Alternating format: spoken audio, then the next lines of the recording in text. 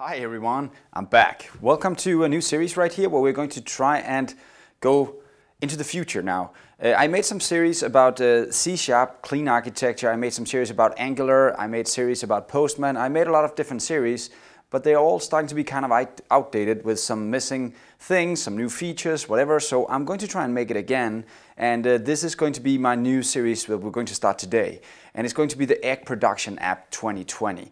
That's the new series that we want to start building here, and there's going to be a lot in this series, so we're just going to get started slowly today, and uh, today I just want to start out by giving you an introduction to what it's all going to be about and what we're going to end up with uh, in this series right here. Now, first of all, the focus in the beginning will mainly be our backend. That's what we're going to talk about in the first part of the series. And then slowly we'll move into actually talking about a front end.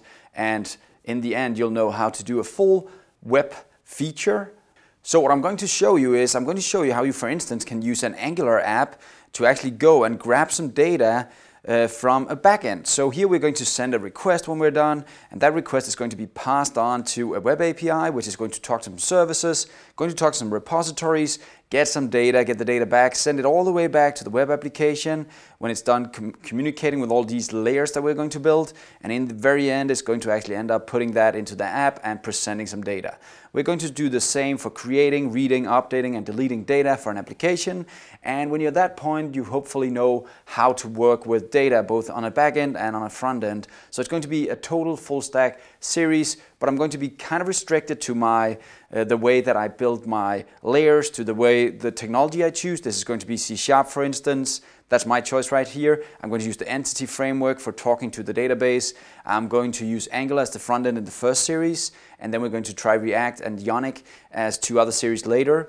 Um, and I also want to really focus on unit testing, so I'm going to do as much testing as I possibly can in my setup right here, starting in the first series with doing unit testing against services. And not only unit testing, I'm going to actually do test-driven development in most cases, and then I'm going to focus on, as I said, single feature development, meaning that if you want a feature to present all the eggs, or sorry, all the chickens you have available in your in your hen house, right? Then I actually have one feature for that and I'm going to complete that feature all the way down to the data source and all the way back to the front-end application.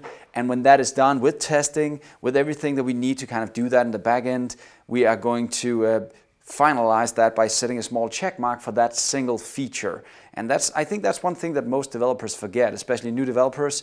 They just kind of jump into making all features at once, either just by making full create, read, update, and delete in the repository, and then making it all in the service, and then in the web API. And then they figure out we don't need all of that in the front end, so we just wasted a lot of time.